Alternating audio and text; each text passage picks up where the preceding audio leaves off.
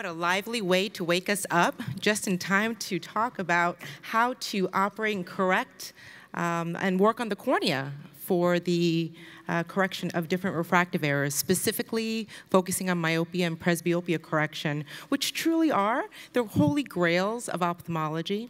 So let's set the stage and discuss in background the prevalence of myopia and presbyopia. When we look at myopia today, if there ever was a word for an epidemic, capitalized, underlined, it certainly is myopia. So the prevalence of it, uh, somewhere in the range of 2.7 billion myopes uh, globally, affecting just under 200 million in the US. But look at the rate of growth in just a handful of years. Myopia and those that are affected uh, from it will have grown another billion worldwide. And there are various contributing factors, improved education, a lot more near work, less sunlight, less time outside, and so much time that is spent doing and performing near related activities. And looking into the literature, the prevalence of it, the trends from now to 30 years from now is pretty startling to notice that it's going to be five times more, 5 billion myopes um, that will happen in the next three decades.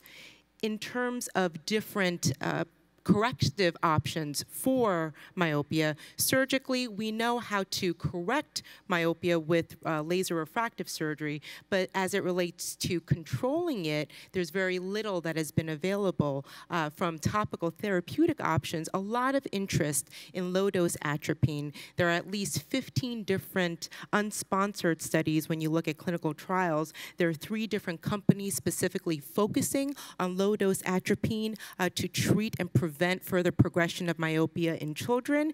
And it certainly is uh, daunting to think that myopia affects upwards of 80 to 90% of those who live in China and about th a third of those in the US. So presbyopia, again, yet another very ubiquitous refractive error affecting 2 billion uh, worldwide. And as you can see, there are about 2 million more presbyopes annually if you look between now and a handful of years from now. And again, various different factors, including a greater aging population, longer life expectancies, again, uh, so many more who are in the growing middle class in emerging markets, as well as an increased near uh, vision needs that are occurring. And but what's on the flip side of that is that there's been very little innovation in the treatment of presbyopia. So in the 1200s, reading glasses. 250 years ago, Benjamin Franklin uh, created the bifocal. And in 250 years, really not a whole lot of conservative options to manage presbyopia. So let's discuss what topical options are in the pipeline. Between the four different companies that are working on it, we have Novartis, which is actually trying to prevent with EV06 the stiffening of the lens. There are various companies, including Liquid Vision through presbyopia therapies and Orasis, as well as Allergan, that are actually focusing on pupillary miosis to help with that pseudo accommodation. And some of the companies also have a secondary agent to mitigate some of the accommodative spasm, whether it's tropicamide or an NSAID that is used alongside. With IOL technologies, we've already heard about it. It's booming.